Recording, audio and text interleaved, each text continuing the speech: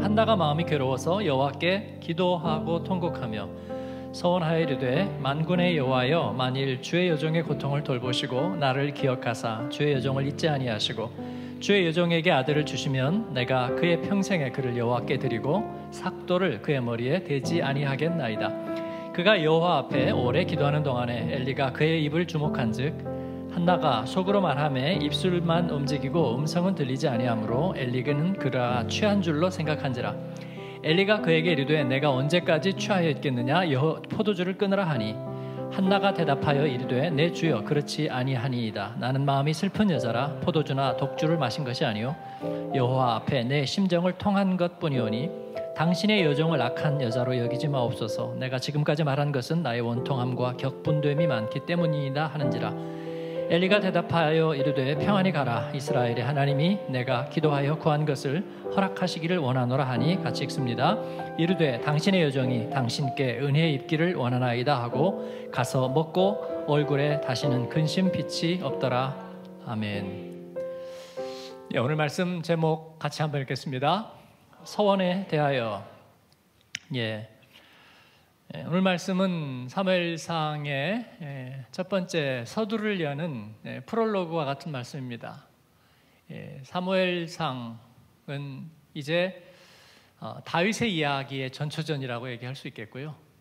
어, 그리고 사사기의 시대를 넘어서 불신앙의 시대를 넘어서 하나님의 다시 소망과 은혜의 햇빛이 한 줄기 여명처럼 밝아오는 이야기.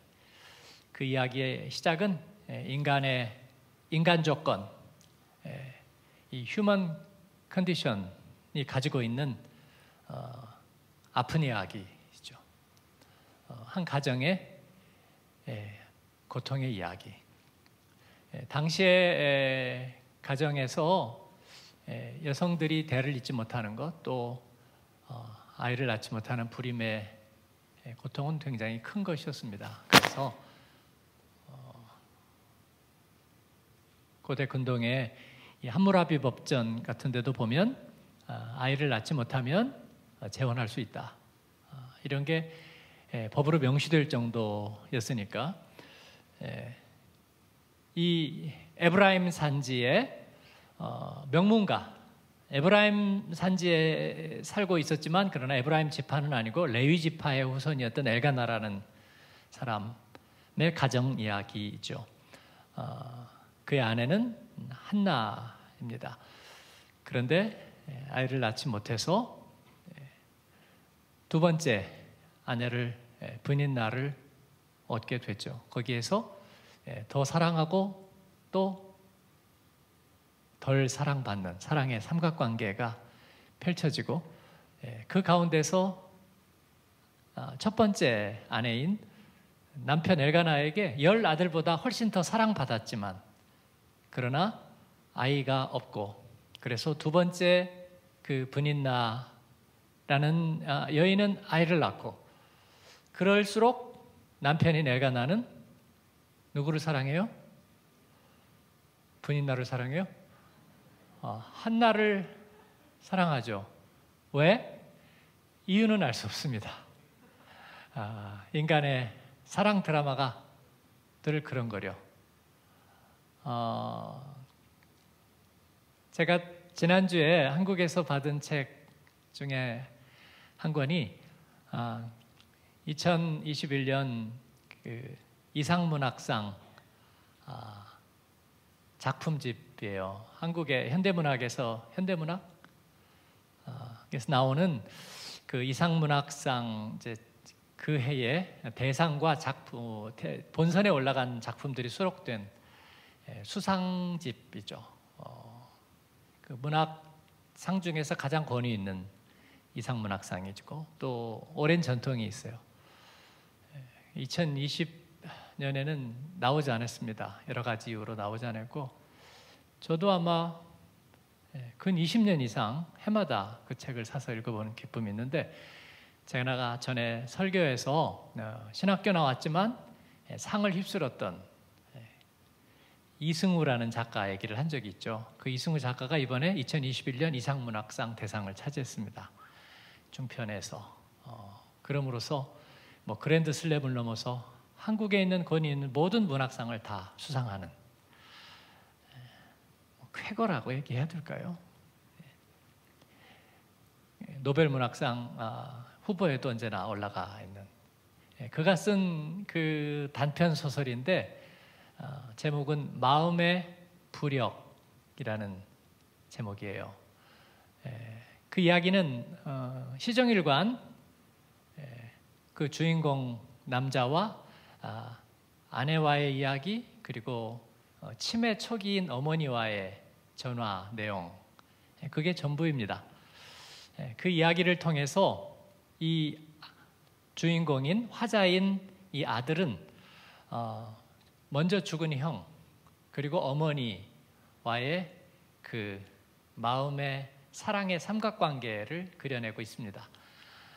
아, 죽은 형은 어, 연극을 어, 좋아했고 그리고 소극장을 열고 싶어 했고 예, 그런데 어머니는 그 큰 아들을 그렇게 사랑하지 못했어요. 그리고 이 착실한 둘째 아들을 사랑했는데 첫째 아들은 먼저 세상을 떠났고 어머니는 이제 치매 초기에 이르러 있는데 그 죽은 아들에 대한 그 마음의 부채, 예, 사랑의 부채를 가지고 어, 굉장히 빚진 노년을 보내고 있는 거죠. 그리고 그 어머니의 마음을 아는 이 둘째도 어, 역시 그 죽은 형에 대한 마음의 부채, 또 그러한 어머니의 사랑을 받는 그 사랑의 버거움에 대한 부채. 그 제목이 마음의 부력이에요.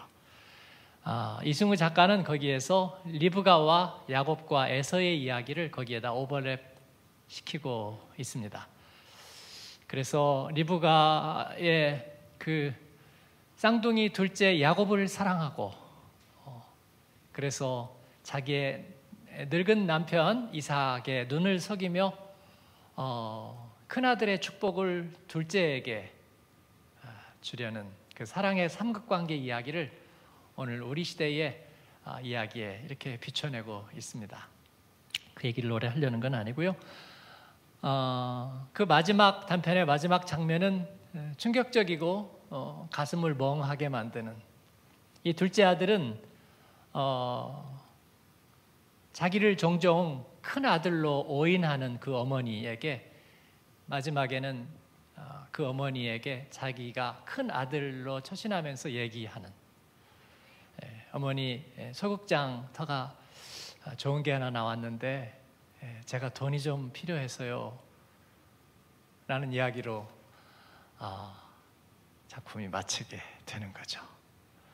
어, 형의 모습, 그 마음으로 자기가 그 안에 감정이입되면서 어머니의 그 마음의 후체 속으로 들어가는 어, 일승우 작가는 아마 거기에서 어, 일종의 대속, 일종의 치유, 그 인간에게 자연 발생적이면서 어떻게 할 수 없는 그 사랑의 삼각관계, 사랑의 부채를 어, 해결해 내는 그런 대속의 마음을 거기에 표현하고 있는 것 같아요.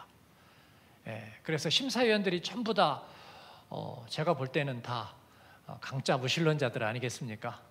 네, 그 이야기 안에 리브가와 야곱과 에서의 이야기도 잠깐 아, 나오고 있거든요. 예, 심사위원 전원의 만장일치로 예, 우리가 대상으로 내놓기에 부족함이 없다고 믿는다. 아, 제가 어, 이승우 작가를 아는 사람으로서 아, 참 좋았어요. 어, 수상의 변이 뭔지 그런 게 제일 재밌잖아요. 예, 대상 타고 그 다음에 수상. 예, 10년 이상 경력이 된 사람들만 거기 예선에 올릴 수가 있고요. 그 다음에 그 작품이 이 문학 잡지나 인정받는 저널에 실려야만 예, 예선 그 대상이 돼요. 그 중에서 뽑고 뽑고 뽑아서 하나를 뽑는 거거든요. 대단한 거라고 보는데 어, 그는 1981년에 신학교 3학년 때 에리직톤의 초상이라는 작품으로 대산문학상을 타죠. 예, 그때 왜 그 상을 타고 문학 작품을 쓰도록 국문과 출신이 아니면서 네, 전혀 그런 공부를 하지 않았으면서 왜 그랬는가? 폐결핵 때문이라고 말해요. 어, 폐결핵을 통해서 사람에게 예, 멀어졌고 아무 누구도 가까이 할 수 없었던 예, 그 공백의 시간 때문에 본인은 아, 글을 쓸 수 있었다 그렇게 얘기하고 지금 왜 자기는 소설을 쓰는가? 아, 그는 이 성서적인 주제들을 이렇게 아주 깊이 있게 다뤄내는 마치 노벨 문학상의 미우라 아야코가 아, 인간의 마음에 죄의 빙점을 그려냈던 것처럼 아, 그 성서적인 주제를 많이 그려내고 있는데 예, 그는 자신의 삶을 어, 사무원이라고 비유합니다. 예, 문학가로서는 썩 멋있는 비유는 아닌데 사무원이라는 건 뭐냐면 날마다 같은 일을 되풀이하는 그런 직업인이라는 의미예요. 예, 글을 쓴다는 것은 너무 멋지고 감상적이고 낭만적이고 영화 보면 뭐 모자를 삐뚤어 쓰게 쓰고 수염이 난 채로 담배를 피면서 이렇게 술잔 하나를 들고 비척거리면서 그런 사람이 글을 쓰는 게 아니라 아침 일찍 일어나서 출근해 가지고 사무실에 앉아서 깜빡 원고지를 쓰고 예, 옛날에는 원고지를 쓰고 200자 원고지. 그 다음에 그걸 또 옮겨줬고 또 옮겨줬고 옮겨줬고 옮겨줬고 예. 그렇게 하는 예, 노가다 사무원이 자기의 삶이라는 거죠. 예, 일생을 30년을 그렇게 해오니까 예, 인간의 마음을 담아서 세상에 펼 수 있게 되는 거죠. 예, 저는 거기에 굉장히 기분이 좋았습니다. 예, 우리는 복음 사무원, 예, 하나님의 말씀과 복음과 주님의 일을 우리는 장사꾼으로서, 세일즈맨으로서, 또 생활인으로서 하나님의 말씀을 우리는 성실하게 아침부터 저녁까지 담아내고 손과 발로 살아내는 사람들. 할렐루야.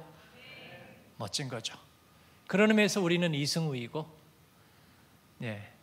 그런 모으로서 우리는 또 복음의 사람들이 되는 거죠. 예. 그런 것처럼 무슨 얘기하다 지금 이리로 갔어요? 엘가나와 한나와 분인나의 사랑의 삼각관계 얘기를 오늘 아이를 낳지 못한 얘기는 하지 않으려고 그래요. 이미 했나요? 예, 더 안 하려고 그래요. 왜냐하면 아, 우리 교우들 중에 아이를 기다리는데 어, 갖지 못하고 또 자꾸 유산한 생각을 하면 전 마음이 너무 아프거든요.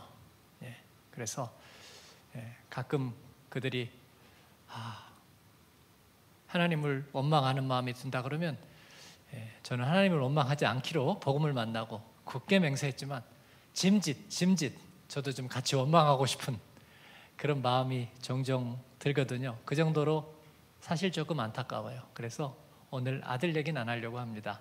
아들이 아니라 자식 얘기. 예, 그들의 고통에 대해서 좀 얘기하고 싶은데요. 아, 사람들은 예, 종교 철학적인 주제로 하나님은 왜 고통을 허락하시는가? 왜 암흑 로이포를 통해서 왜 그 학살극을 벌이는 이들을 통해서 애꿎은 사람들이 죽게 하시는가? 예, 그거는요 리차드 더킨스한테 가서 물어보세요. 어, 우주에 있는 모든 고통의 총량은 어마어마하고 예, 거기에 대해서 대답하는 절대자란 없다. 그냥 이 우주 안에서 벌어지는 그 수많은 고통은 그냥 무심할 뿐이다. 뭐 그렇게 얘기하는 거죠. 고통의 총량? 제가 그걸 세어봤어요. 예. 여러분의 마음 안에 있는 그 고통을 누가 알아요? 그가? 그러면서 무슨 고통의 총량? 예. 그러니까 그런 대답은 리차드 더킨스한테 가서 들으세요. 우리는 그런 일에 관심이 없어요, 여러분. 하나님은 우리에게 한 영혼의 그 사랑받을 이유 그리고 그 안에 있는 마음의 고통과 빚을 어떻게 해결할까? 여기에 가슴 아파 애달바 하는 인격적인 존재 그분이 하나님이에요.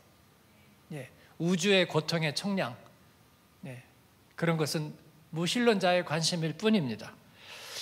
그래서 오늘 이 사무엘상의 역사의 프롤로그는 한 가정에 아주 상투적이고 소박하지만 그럼에도 그들 자신에게는 너무 할 수 없는 이 한나의 고통과 눈물은요 오늘 말씀해 보면 너무나 감정이입이 돼요. 마치 술에 취한 듯다 다 지쳐버린 그래서 입술만 까딱까딱까딱 움직이는 그 마음 속에는 눈물과 예 그가 아, 가지고 있는 그 아픔은 마치 질병과도 같다고 그래요. 질병과도. 그래서 마치 큰 질병에 시달리고 있는 것 같은 왜 아니겠습니까? 그의 얼굴은 헬쓱하고 그리고 마음은 고통으로 찢어지는 그런 마음이에요. 그건 뭐 우주의 고통과 다를 바가 없는 거죠. 그러나 오늘 이야기는 그 고통을 통해서 하나님은 하실 말씀이 있다. 이게 놀라운 반전이에요. 저희들의 불면증을 통해서 우리들의 이유 없이 이 위산이 역류하고 우리 안에서 오는 이런 아픔을 통해서 설마 예, 그게 내가 자초한 일이기도 하고 팔자소관이기도 하고 사는 사람들이 다 그런 모습이기도 하고 그런데 설마 그 가운데 하나님은 하실 말씀이 있다는 거예요. 네. 놀라운 이야기 아닙니까? 네, 이게 예, 좋은 소식입니다. 좋은 소식이에요. 네. 뭐 천지가 개벽하고 하늘에서 뭐 우레가 떨어지는 그게 좋은 소식이 아니라 하나님은 하실 말씀이 있다. 무슨 말씀이 있을까요? 네, 그 하나님은 누구시길래? 당신은 누구시길래? 네, 그 하나님은 오지랖이 넓으신 하나님입니다. 네, 무슨 오지랖이요? 오지랖을 여러분 어느 때 쓰죠? 네, 이 사람이 무슨 일이 생기면 네, 전에 있었던 우리 교회 네, 전설적인 사역자들 네, 뭐 전에만 있었던 게 아니라 지금 여러분 중에 많아요. 여러분을 얘기할 수는 없으니까 옛날 사람을 얘기하자면 전설적인 사학자들 중에 보면 이 오지랖이 넓은 분들이 많아요. 그래서 새벽기도 나오고 그 다음에 바로 가서 또 자기 집안일 하고 그 다음에 순식구들 어 뭐 이사하면 또어빵 싸고 해가지고 또 가고 그리고 또 정리하는 거 도와주고 그러면서 뭐가 없다면 또 알아가지고 주문도 해주고 그리고 집에 돌아오면 타이어 바꿔야 되면 타이어 가서 바꾸고 오고요. 예. 신랑은 이제 가서 출근해서 일하니까. 예. 그리고 나서 누구 집에 수는 중에 또 컴퓨터 문제 있다면 가서 다시 세팅도 다시 해주고요. 예. 그런 걸 뭐라 그래요? 오지랖이 넓다 그러는 거죠. 예. 하나님은 바로 그런 사람들을 통해서 할 얘기가 많아요. 뭐 우주와 철학의 문제, 뭐 신전제의 문제, 예. 하나님은 그, 하나님이지만 미안하게도 그런 일에 관심이 없어요. 저도 별로 관심이 없어요. 예. 그런 거 누구한테 물어보라고요? 리처드 도킨스. 예. 예. 그리고 그의 코 그들에게 가서 물어 그런 얘기 하기 좋아하는 사람들 뭐 스티븐 호킹 뭐 이런 분들한테 가서 물어보면 돼요. 하나님은 스케일이 아주 그런 점에서는 작으신 분이에요. 아주 디테일하신 분이에요. 그리고 굉장히 구체적이고 인격적이신 분이에요. 그래서 우리들의 매일 만나는 작은 문제, 어, 컴퓨터 바이러스 이거 어떻게 해야 돼요? 그런 문제 관심이 많아요. 네? 예, 커피가 막혀서 안 나오는데 이거 어떻게 하면 되죠? 예, 그러면 유튜브 찾아봐, 찾아봐도 안 나오는데요? 그런 일에 관심이 많아요. 예, 그런 일에. 예. 내 마음속에 이렇게 쓰리고 아프고 자꾸 눈물이 나지만 이유는 모르겠는데 이거 어떡하죠? 그런 일에 관심이 많아요. 하나님은요. 그렇죠? 성경에는 그런 이야기예요. 아, 인간의 구조적인 문제, 정의란 무엇인가? 뭐 그런 얘기 성경에 나와요? 안 나오죠. 하나님 번지수 잘못 찾았어요. 그런 교만한 인간에게 하나님은 별로 하실 얘기가 없어요. 하나님은 자기 사람들을 돕는 일에 특별해요. 그래서 여러분 여러분의 부모님이 어머니가 못 배웠다면 하나님은 못 배운 여러분의 어머니하고 닮았어요. 그러니까 못 배우니까 자식을 미워하던가요? 예? 못 배웠으니까 자식에게 뭔가 불의한 일을 시키던가요? 예? 가서 쌀뜨박 얻어와라 그리고 내몰던가요? 안 그렇잖아요. 못 배웠어도 그러지 않은 게 어머니자. 우리 하나님은 못 배운 어머니하고 비슷해. 예? 못 배웠는데 사랑은 반비례해. 그리고 고통에 대해서는 너무나 잘 알아. 그런 거죠. 하나님은 자기가 주어예요. 나는 다. 에흐에 아셔르 에흐에. 나는 스스로 존재하는 자야. 하나님은 그지만 하나님은 자기를 주어로 여기지 않고 동사로 여기세요. 동사로 여기세요. 그랬고 우리들에게 찾아와서 동사로 쓰임 받기로 하는 하나님은 오지랖이 넓어 도와주는 일에 도와주는 일에 특별해요. 작은 눈물을 위로하고 그리고 작은 아픔을 채워주는 게 좋아하는 거예요. 예. 그래서 가다가 자동차가 펑크가 나서 어떻게 할지 모르는 것 같으면 그걸 지나갈 수가 없는 거야. 차 뒤에다 세워놓고 가서 뭘 도와줄까요? 어떻게 하면 좋겠어요? 라고 얘기하는 걸 하는 걸 좋아하는 거죠. 주차권을 끊어야 되는데 아, 잔돈이 없어요. 여러분 그런 일이 한 번씩 다 있잖아요. 근데 예, 멀쩡한 사람이 와가지고 저 혹시 미안하지만 50센트 뭐래? 요즘도 이런 인간이 있어. 그런 표정으로 안 하고 아, 그럴 때 있죠. 하필이면 그런 날이죠. 내가 예, 알아요. 50센트. 혹시 안 되면 50센트 하나 더 드릴 때. 예. 그럼 무슨 생각할까요? 함정일까? 그건 아니죠. 귀인을 만난 거죠. 예, 상식적이지 않은 세상에서 상식을 만난 거죠. 예, 예, 미국 영화 보면 그게 뭐예요? 되게 그런 사람이 천사로 나오는 경우가 많죠. 한국 영화는 이제 무정해져서 그런 얘기 나오지도 않아요. 예, 미국 영화 봐야 가끔 나와요. 가끔 나와. 그런 사람이 천사로 나와서 돌아보니까 없잖아. 어, 예, awesome. 그런 거죠. 근데 예, 하나님은 어지랖이 넓으시고 동사로 쓰임 받기로 나신다. 이제 서론인데 언제 결론을 맺지? 빨리 나갈 거예요. 따라하겠습니다. 하나님은 고통을 사용하십니다.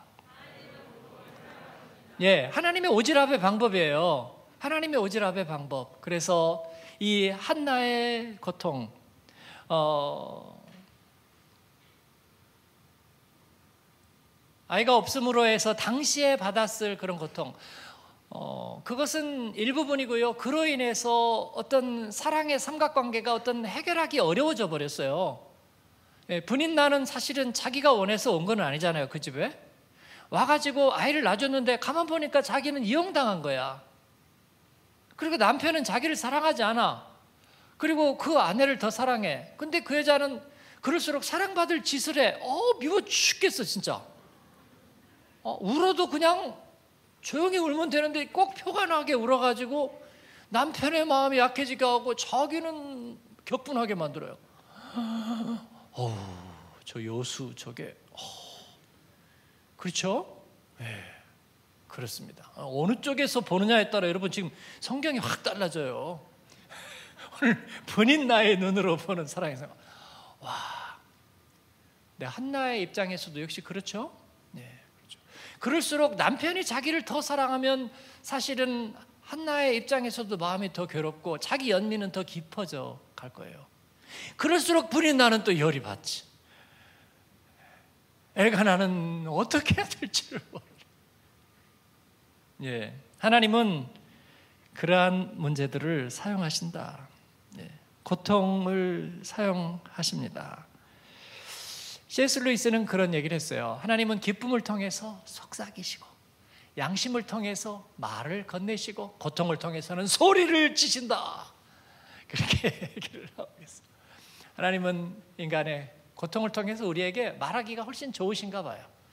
왜냐하면 그만큼 우리가 마음이 여려지기 때문에 사랑의 삼각관계에서 잘한 사람 아무도 없어요. 아까 얘기한 이승우의 마음의 부력 속에서 그 치매초기에 자식을 헷갈리고 큰아들에게 못마땅히 여기고 잘 못해준 그녀의 그 아픔 그러나 착실하게 하고 형을 원망하면서 어머니 마음을 속삭이드린 형에게 원망이 있어 그런데 먼저 가버린 형에게 대한 또 죄책감을 갖고 있는 아들은 또 거기에서 어떻게 할 줄 모르는 거야 형의 목소리라도 찾아가서 어머니의 그 마음을 이해하고 해집어 드리고 싶은 마음인 거예요. 거기에는 의로운 사람도 없고 정의도 없고 옳고 그런 것도 없어요. 그래서 거기서 하나님이 말씀하실 수 있는 거예요. 네? 아들을 내어주시는 아버지. 그래서 우리 죄인을 사랑하려는 그 하나님의 마음은요, 때로 떳떳지 않아요. 아, 지가 잘못해놓고 어디 가서 용서를 빌어. 그런데 하나님은 슬그머니 자기 아들을 내어주시면서 그 자기의 아픈 마음을 표현하는 거예요. 여러분 이것이 좋은 소식, 하나님의 마음, 성경의 이야기예요, 여러분. 이 마음이 아니라면 우리는 구원받지도 못하고 예수 믿지도 못해요. 네. 뿌린 대로 거두고 그냥 미워하다가 정치고 말 거예요. 그러지 않은 하나님은 우리에게 고통을 통해서 다가오시는 거죠. 이루지 못한 소원 때문에 한나는 울지요. 그러나 그렇게만 우는 사람이 있는 건 아니에요. 죽음의 이별 때문에 사람들은 울고 또 그 죄책감 때문에 울고 조국이 처한 상황 때문에 우리 주변의 삶 때문에 울고 그러나 성경은 약속하시는 거죠. 예수님께서 다시 오실 때에 그 완성의 날에는 우리 주님은 모든 눈물을 거두어 가실 거라. 모든 눈물을 닦아 주실 거라 그렇게 약속하시는 거죠. 여러분 어, 고통이라는 것은 우리가 한계 상황에 있다는 거죠. 그렇죠? 네, 우리 인간에게 육체에게 한계가 있고 시간의 한계가 있다는 거죠. 그러면서 우리에게 고통을 지각하게 하신 것은 고통일 뿐만 아니라 하나님이 주신 특별한 선물이죠. 우리는 이를 통해서 하나님을 알게 된 거잖아요. 우리가 뭐 제가 말씀드렸잖아요. 뭐 죽지도 않는다. 아니면 죽음의 고통이 없다. 그냥 뭐 막 산다. 막 150세들이 로맨스를 한다 정신이 없을 거다. 제가 그랬잖아요. 하나님을 인정할까요? 알까요? 깨달을까요? 그럴 리가 없죠. 그러나 하나님은 고통을 통해서 우리를 찾아오셨습니다. 할렐루야. 이를 통해서 그들을 도우십니다. 두 번째, 따라 하겠습니다. 하나님은 다양한 사람을 사용하십니다. 그렇습니다. 우리가 얘기하잖아요. 참 사람도 가지가지다. 가지가지 사람은 하나님은 사용하시는 것 같습니다. 첫 번째 이 엘가나를 이 고통의 이야기 한나의 고통이 주제가 되잖아요. 예, 남편 엘가나를 어떻게 이용하시나요?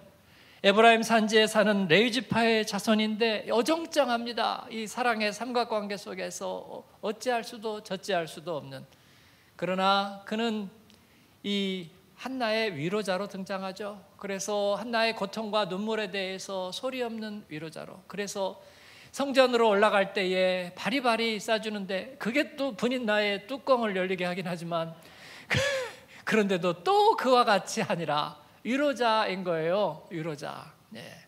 하나님은 저와 여러분을 위로자로 사용하십니다. 그런데 그 위로자라는 게 자기의 자격이 그렇게 떳떳하지는 않아요. 떳떳하지는 않아. 그래서 조심스럽게, 조심스럽게, 그러나 하나님은 우리를 위로자로 사용하신다는 거예요. 예. 두 번째는 또 누구를 사용하죠? 엘리. 예. 여기 보니까 하나님은 다양한 사람을 사용하는데 그 다양한 사람들이 다 한결같이 함량입니다. 엘리는 영감이 말씀이 희귀하고 이상이 잘 보이지 않는 한물간 퇴물 제사장이에요. 자식 교육 실패하고 더 이상 영감이 사라져버린 그런 퇴물 제사장. 아, 마 집에서 몰래 술 좀 먹었나 봐. 그래갖고 한나가 기도하다 지쳐서 우물우물 하니까 아유 아침부터 술을 먹었네. 보통 먹은 사람이 알거든요. 네, 저는 엘리가 좀 먹는다에다 한 표. 검증은 안 해봤어. 그러니까 한나가 제사장이 사람 마음도 모르고 예? 예. 술을 먹은 게 아닙니다. 나는 마음이 슬픈 여자입니다. 하나님 앞에 내 심정을 쏟아놓는 것 뿐이라고요. 예. 그렇게 얘기를 했더니 썩어도 준치 이 엘리가 그 고통 앞에서 하나님 앞에 쓰임 받아요. 그러면서 엘리가 기도해 주죠. 평안히 가라. 이스라엘 하나님이 내가 기도하여 구한 것을 허락하시기를 원하노라. 여러분 이거 어떻게 생각하세요? 제가 어, 지난주에 그 전자책을 아직 출판이 됐는지 안 됐는지 모르겠어요. 카메룬 윤원로 선교사님이 출판한 책 선교사 근 40년이죠. 36년 이상 되셨는데 로고소를 타고 2년간 세계를 돌면서 선교하는 젊은이들 틈에 들어가서 결혼해 가지고 아기를 낳고 그렇게 하고 있다가 이제 카메룬에서 내려서 최초의 한국인 선교사가 카메룬에 되는 거잖아요. 네. 근데 아, 그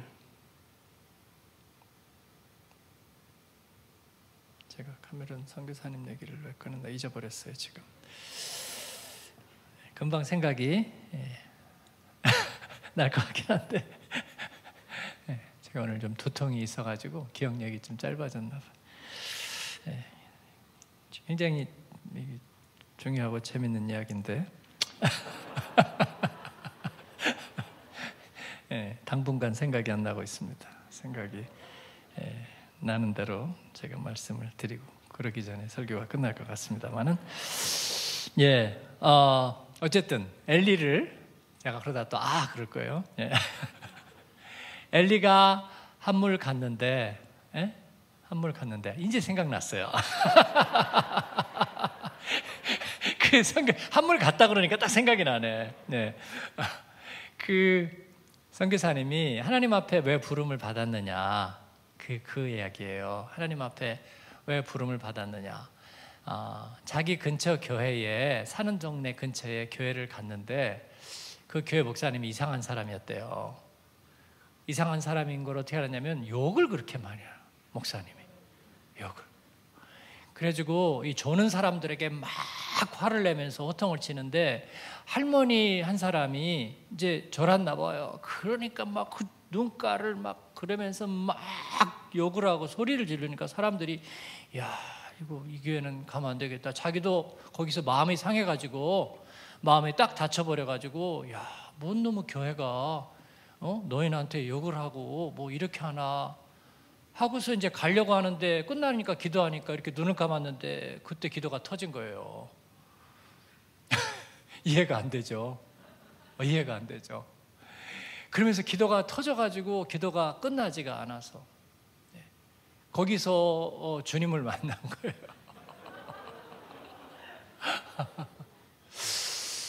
예. 그분이 그 목사님이 욕을 해서는 아닐 거예요. 그죠? 네. 그러니까 하나님은 한물간 엘리, 예.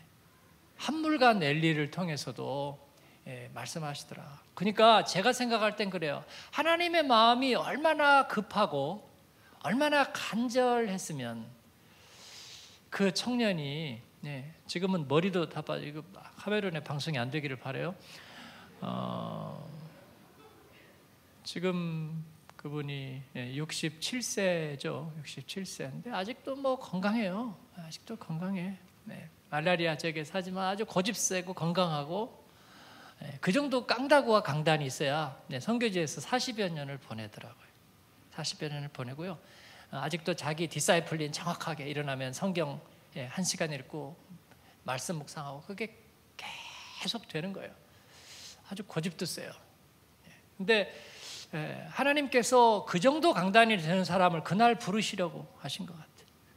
근데 그 근처에 아주 영감이 많고 온유하고 좋은 예, 교회나 목사님들이 있었다 모르는데 그렇지도 않은데 그날 예, 하나님 그냥 그날 손 봐버리신 거야. 예, 뭐 환경이 이렇든 저렇든 오늘 내가 너를 부르고 사로잡는다 그렇게 말씀하신 것 같아요. 예, 당시에 영감 희귀하고 말씀이 잘 아, 이상이 희귀하고 말씀이 보이지 않던 아니 말씀 희귀하고 이상이 보이지 않던 그런 시대에 등불이 꺼져가고 있던 그 시대에 하나님은 이제 눈을 거의 감아가는 엘리를 통해서 이 고통받는 여인 한나를 축복하시죠. 그래서 예, 하나님께서는 그 제사장을 옳은 길을 가도록 한 여인을 돕고 인도하는 도우미로 사용하시고 그래서 한나는 아이를 낳자마자 그 엘리에게 아들을 갖다가 턱 맡기는데 주저함이 없었던 거예요. 그분의 기도와 안수를 통해서 아이를 낳잖아요. 그래서 그 아이를 다시 돌려 보내는 거죠. 그 다음에 바로 이 한나입니다.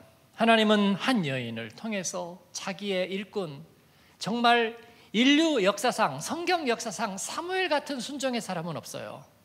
예수님 빼고는요. 예수님하고 경쟁해도요, 와, 마지막 결선까지 올라갈 거예요. 그 정도로 순종의 아이콘입니다. 이 사무엘은요, 정말 하나님의 말씀 앞에 살고 죽고 하는 사람입니다. 자기가 볼 때 사울이 불쌍하고 괜찮은데도 밤새워 울면서도 하나님의 뜻이 사울은 아니야. 그래서 사울에게 당신은 아니라고 선고하는 예, 이 사람이 사무엘이거든요. 하나님은 한 여인의 눈물과 고통을 통해서 바로 그와 같은 하나님의 사람을 탄생하는 데 쓰신다. 그런 거예요. 그러니까 하나님은 저와 여러분의 작은 고통, 저는 뭐 큰 고통은 모르겠어요. 스케일이 작아서. 거기에 대한 대답할 말도 없고요. 그 누구한테 물어보라고요? 도킨스한테 물어보라고요. 네. 네, 똑똑하니까 그런 사람들이 뭐 할 얘기가 많을 거예요. 그러나 우리는 잘 모르겠어요. 그냥 우리 교인들이 갖고 있는 작은 문제, 작은 고통, 그렇지만 내 마음 안에서는 어떻게 할 줄 모르는 그런 걸 통해서 하나님은 하실 얘기가 많으시다. 네. 그리고 하나님은 그를 통해서 하나님의 사람들을 쓰신다 하는 겁니다.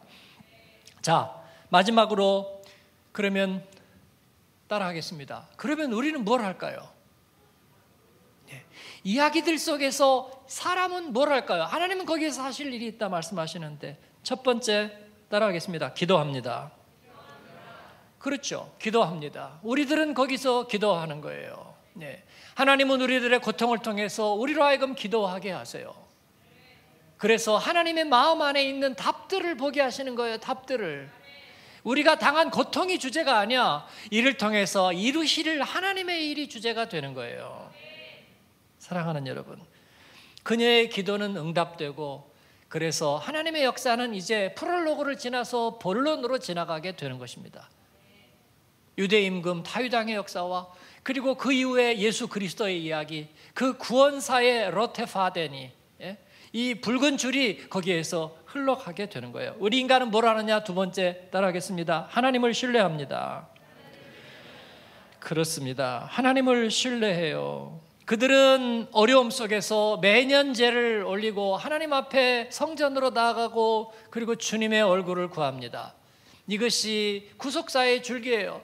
소견에 오른 대로 행하던 사사기의 종교에서 입술로는 하나님을 찾으나 마음으로는 멀어져 버린 그들 속에서 고통 속에 진정으로 하나님을 찾고 목말라 하는 이들 그들을 통해서 하나님은 하나님이 되시는 거예요. 그리고 하나님에 대한 신뢰와 믿음을 그들이 회복하게 되는 거예요. 우리가 할 수 있는 일은 그거예요. 고통 중에 말씀하시는 하나님께 우리는 기도하게 되고 그리고 그 하나님을 신뢰하는 거. 그 다음에 세 번째는 오늘 주제입니다. 주제만 말하고 끝날 거예요. 뭐냐면은 서원하는 것입니다. 예. 서원이란 뭐냐면 바로 그 하나님께 감사해서 약속을 드리는 거예요. 감사해서 약속을 드리고 그리고 감사해서 약속을 드렸으면 그것을 실행해서 그를 기쁘게 합니다. 아이들에게 너 선물을 줄 거야. 그러면 아이들이 너무 좋아하고 그런데 그 좋아하는 것은 주게 되면 더 좋아하게 되죠. 예. 고마워서 약속을 하고 그리고 나서 줌으로써 기쁘게 하는 거예요. 서원은 어려운 이야기가 아닙니다. 하나님께 고통 중에 말씀하신 하나님께 감사하는 거예요. 이를 통해서 하나님은 위대한 일을 행하셨네. 그래서 예, 성경에 4대 여가수라 그랬죠? 한나의 노래. 예, 한나가 노래하는 겁니다. 미리암, 드보라, 한나, 그리고 마리아 성경의 4대 여가수. 예, 이스라엘 주 슈퍼스타.